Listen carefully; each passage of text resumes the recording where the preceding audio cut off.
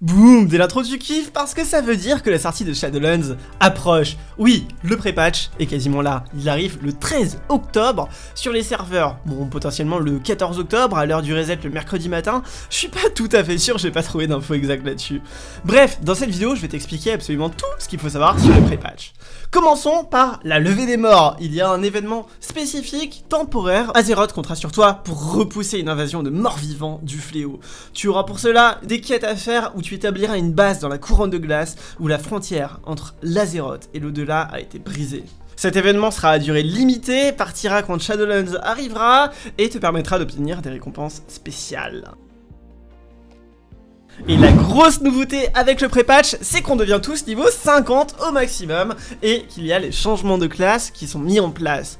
Tu as peut-être pu le voir sur ma chaîne, il y a quelques vidéos qui t'expliquent un petit peu les nouvelles classes pour Shadowlands. Là, tu n'auras pas 100%, tu n'auras pas les congrégations, tu n'auras pas les légendaires, tu n'auras pas les sorts de 50 à 60, mais tu auras déjà les modifications au niveau de ta classe et au niveau de l'arbre de talent, ce qui pourra te permettre de tester les nouvelles versions des classes pour Shadowlands. Et ça, c'est vraiment cool. En outre, tu auras également plus de corruption, donc la corruption disparaît complètement et du coup ça te fera une nouvelle expérience au niveau des raids. Et tu as également les nouvelles apparences qui sont mises en place, ainsi que les animations badass de création de personnages. Bon, je pense que tu t'éclateras comme moi, qui, a un petit peu toutes les classes pour voir ce que ça donne. Mais sache en tout cas que tu as beaucoup plus d'options de personnalisation. Pareil, au niveau du coiffeur, tu pourras choisir de devenir un mec, une fille, tu pourras changer pas mal de choses. Le service payant a été retiré du jeu et est mis en place de base à partir du pré-patch. Tu pourras également bénéficier d'une expérience nouvelle du leveling. Il y a une toute nouvelle zone de 0 à 10 destinée principalement aux nouveaux joueurs du jeu qui leur permet d'expérimenter un mini donjon qu'ils font par eux-mêmes, des quêtes où en gros tu vas apprendre les bases du jeu et les bases de ta classe sur une toute nouvelle zone. Ça dure environ une heure.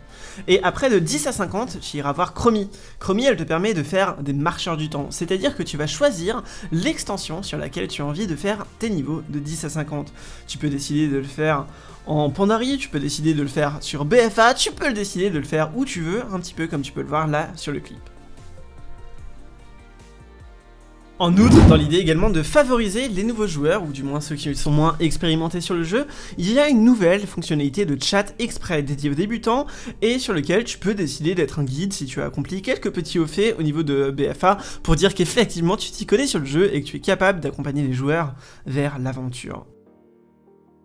Plus besoin de faits non plus, désormais tu peux voler directement dans les régions de Warlords of Draenor et de Légion, bim races alliées seront également débloquées beaucoup plus facilement. Avant, il fallait faire un haut être exalté et ensuite faire une série de quêtes. Désormais, il n'y a plus besoin d'être exalté, tu peux directement faire le haut et la série de quêtes pour débloquer ta race alliée préférée.